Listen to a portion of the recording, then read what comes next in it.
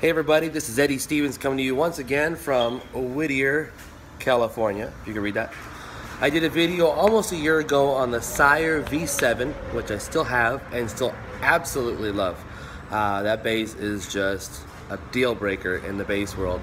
I kid you not. Anyway, so I'm coming to you today because I got the newer line. This is the Sire M7 you can see all that.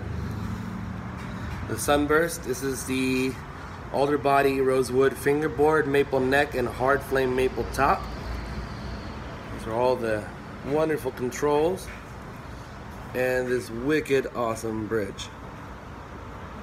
So I do practical reviews so the average guy can understand these things. I don't do a lot of chops um, because it's just not practical. I mean, chops are great to have, love having it, but not necessary for the gig. So again, this is the alder body rosewood fingerboard, hard maple neck, hard maple flame top. I'm going to first talk about the controls. The preamp is exactly the same as the V7. You get your stacked one up here, which is volume and master tone, and your pickup blend. And again, these work in active and passive mode, that whole section, that's active and passive. Then you have your treble, which is tuned at 10k hertz or 10,000 kilohertz. You have your mid with sweep. Now this one, I don't know if they changed the frequencies on it, but to give you an idea, when it's on the center indentation, it is 600 hertz because that's where, from what I understand, Marcus Miller likes to cut a little bit of. Uh, on the low end, it goes down to 80. On the top end, it goes up to 2K. So that's a huge, huge, huge range. Uh, and then this is the bass, and this is tuned to 20 hertz. Um, which I don't understand why they went that low on it, because usually 20 hertz is just a, a frequency you feel more than hear audibly. Uh, that's the sound engineer coming me out, uh, in me coming out. But they did it down to 20 hertz. Okay, so we have the active passive toggle switch, which up is active and down is passive. And this is where it gets really, really, really interesting on this bass. So there's two extra toggles and one coincides to each pickup. So like this one coincides to this pickup, this one coincides to this pickup. So they have three positions on the bass on these toggle switches. Up is what's known as the parallel mode and this is the brighter, what I think the more traditional humbucker sound. Um, and keep in mind, I've only played this bass on three gigs so far. I went into it blind. I want to let the bass do the talking before I did this review. Parallel mode is up.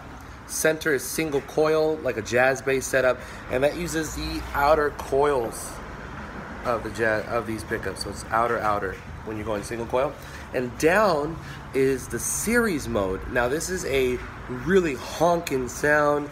It's a lot hotter signal, so you're gonna freak your sound guy out and your amp out if you just flip to this all of a sudden. I did notice on a gig that I did it with that either the single coil or the parallel modes was good for a solid, normal, this is my all the time level. And the one bass solo I had that night, I flipped it into series. It gave me that extra boost that I wanted. And it got it to be a little dirty when I really dug in, which can be a cool thing um, if you want to give it that extra grit. Uh, normally I would not leave it in series because it's just too hot. Um, and I'm one of those bass players that likes to leave the volume knob all the way up and just control the amp for stage volume. That way the sound guy doesn't get freaked up if you freaked out if you go up or down a lot. Anyway, so that's the controls. I want to talk about the bridge, so I can get a good shot of this. So it's a really nice, solid, massive bridge, and it's got the saddles. You can go through body or on the bridge with the strings, and you've got the two holes that you normally have in the saddles for the uh, Allen wrench to adjust the saddle. But then it also has the third one back here on one side only. And what that does is when you're working the intonation, when you're working the screws in there, once you have it in the right spot for intonation, that locks it in. So it's a, a locking bridge of sorts. Um, and I didn't even notice that until my luthier who did a setup for me on this pointed that out and is a really, really cool feature. On the back, once again, uh, you got five bolts to connect it. I'm assuming it's a five string. They did improve the battery cavities where the length of cable, if you look at my last review on the V7, the length of cable on the leads in that was too short. They did lengthen that out. So thank you, Sire, for listening to your people. That helped out a lot putting batteries in here. I can string through and that's where all your electronics are at. Okay? And this bass is much lighter than the V7. Um, I don't know if they changed the V7 weight at all, but when I put this bass on, it felt like it was a feather um, compared to using the V7 all the time, which I have the ash alder, uh, excuse me, the ash maple, and that one was super heavy. Okay, so I'm gonna play just a little bit just because I want to give you guys an idea of what this does. Um, as always, I'm running it through, and I'll try to see if I can turn this around here. S- stands in the way. Schroeder 1210 cabinet, Genz-Benz Shuttle 9.0, and the Aguilar Tone Hammer DI preamp, which is active. And on that, I have the gain and the master straight up 12 o'clock. Everything is 12 o'clock except just a little treble boosted, and that's both the amp and the preamp. Alright, so this is gonna be single coil, just like a jazz bass.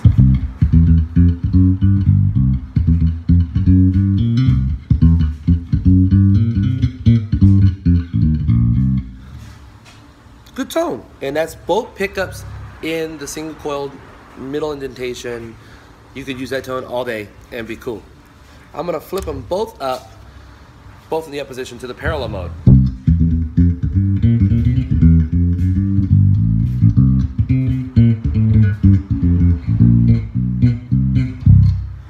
Now I noticed that that gave me uh, somewhat more of a like a almost like a scoop, not like a jazz bass scoop, but like if this is your middle of your frequencies, it's keeping the mids there, but it's boosting the lows and boosting the highs a little bit, a little more sizzle, a little more um, oomph on the bottom end, uh, but still not too much.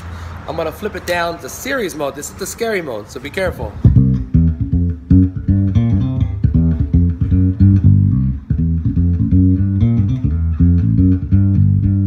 Now again, like I mentioned, that's gonna be a lot harder, a lot louder, a lot fuller.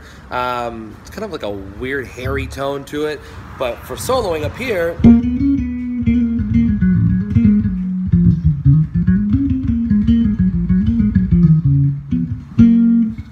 really can give you a full sound as where on some other basses when you're going up top you lose some of the grit and some of the depth in the tonalities. Um, so like I said when you're kicking into solo mode if you're gonna do some upper register stuff that's perfect. If you're gonna do something in the lower register or slapping you might not want to do it.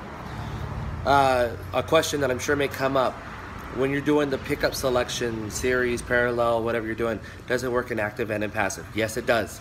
It works for both active and passive modes. So if you're a guy that wants to just flip to passive, forget the batteries, it still works. This is single coil. This is parallel. This is series. So it definitely works in both. Now, can you make different combinations, one in single coil, one in series, or one in parallel? Yes, and I have found for me, my favorite tonality on this bass so far, if I'm leaving the EQ on it flat, is the neck pickup is going to be left in single coil, so it's going to be just that coil. And this one is going to be flipped up to parallel. And it just seems to work out best for me.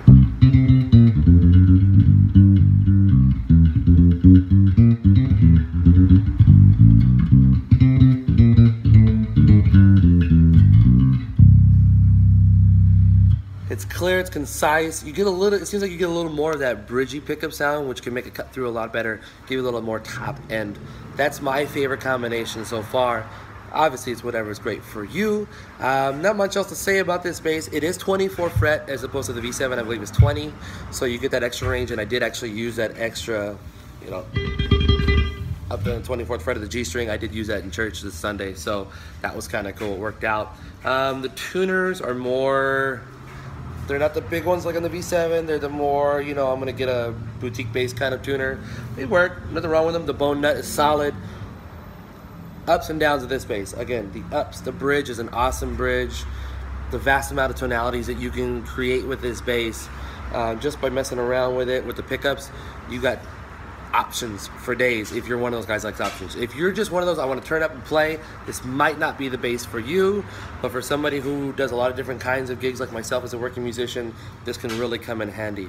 Uh, 24 frets, hard maple fingerboard, uh, excuse me, neck, still feels nice and strong in your hand. Um, the rosewood fingerboard, I mean, everybody has a lot of bases with rosewood. Hard maple top, flame maple top makes it look nice and pretty with the starburst. And the alder body uh, is nice and cool. Again, lighter, longer leads on the battery uh, compartments, which is nicer, better bridge, lots of tonalities.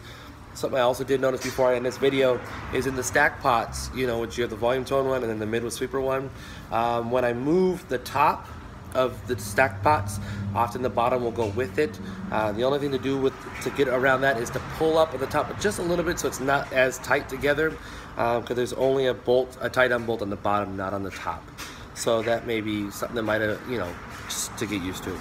Okay, so this is Eddie Stephens from Whittier, California. The M7 bass, a good bass, but a bass you're gonna have to work with to find your your tone. Um, in comparison to the V7, the V7 is just turn it up and it sounds incredible from beat one.